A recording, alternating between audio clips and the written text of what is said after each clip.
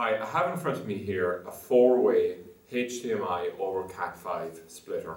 Basically the idea of this is to take an input from a set-top box, such as we're demonstrating on my left-hand side here, and we can take that HDMI input, we can split it and output the signal as a Cat5 format, run it over Cat5 or Cat6 cables up to a maximum distance of 60 meters, convert it back to HDMI, and then feed up to four uh, remote TVs uh, with a single setup.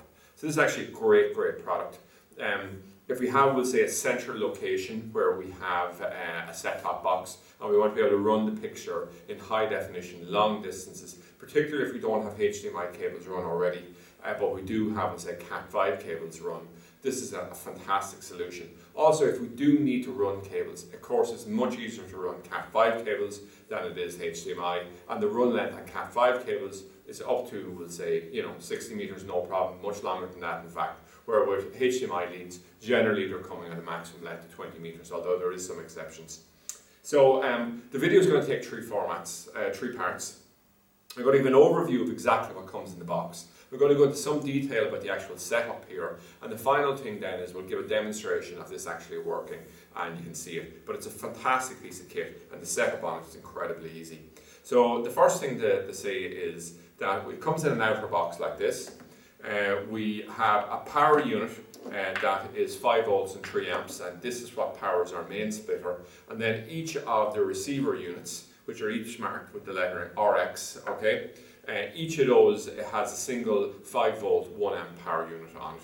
We've a little user manual here that's in English, it's very brief, uh, but basically you'll get a very good idea here in terms of the setup very quickly. So what I'm going to do at this point is I'm actually going to move to the front of the unit here, I'll just give a quick overview of what's going to happen. So I'm just going to bring the, the main um, unit forward here. So what we'll envisage here is we have a, um, a set-top box, we're running a HDMI lead out, we run it over here, and we grab our power unit, which is the 5 volt 3 amp one I just showed here, and we give power. So it's taken the signal from the box, the HDMI goes in, and now it's ready to output it. And it can output it to each or all four of these at a time, depending on what way we want to run, it, how many TVs you have to connect. So um, each one is a Cat5, and that's ready to go. So what we'll do at this point is we'll simply run a Cat5 cable here to our receiver units. Just as a brief note to the front of the box here, if we just look along here, we can just see the power output lights on it, all the rest of it. And it's just indicating, I'll actually indicate it better when we'll say we have the cables connected up here in a few moments' time.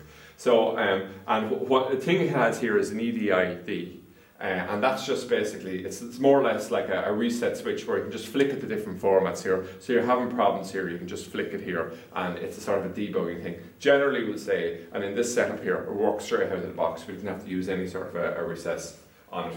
So I'm just going to move this out of the way, but we're envisaging all the time we have a Cat5 cable coming out of here. So as it's the same procedure with all of these, I'm just going to move all these out of the way, and we're going to have a scenario where we have the Cat5 cable runs directly in here.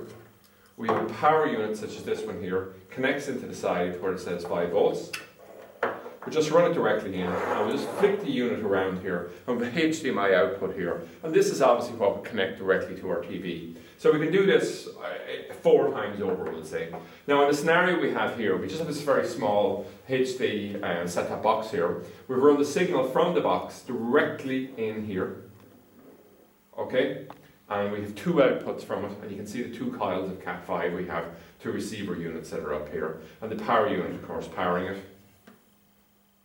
We'll see here, if I pulled out the power unit here, the power would go off, and we're just checking here that we're getting output. I'm just going to remove these two cables here, and we can see our picture is gone, but the lights in the front of the box here still lighting away. So it doesn't matter which of these. I was using output 1 and uh, 3 originally, I'll just use 1 and 2 this time here. So each of these cables here, so if we come down and we just look at this particular unit here, we can see that the output is coming from this first one. But if I disconnect this HDMI lead, I just came to the next unit, which is of course also being powered, we can see both LED lights on.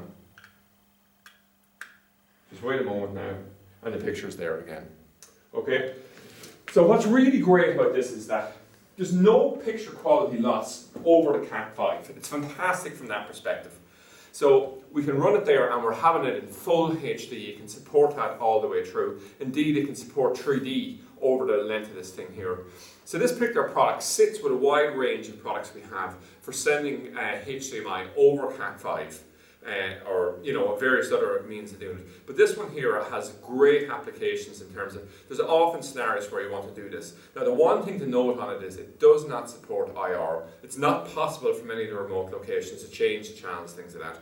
So in, in that extent, but what it's creating really is a virtual uh, HDMI network with HDMI cables, all the rest of it, except we're doing it on Cat5 here. I find this product in terms of what it's able to achieve, the price point it's coming in at, and, uh, and the picture quality really really good. And the setup on it was extremely simple. So that's it anyway. Uh, a four-way HDMI over Cat5 um, uh, sender uh, system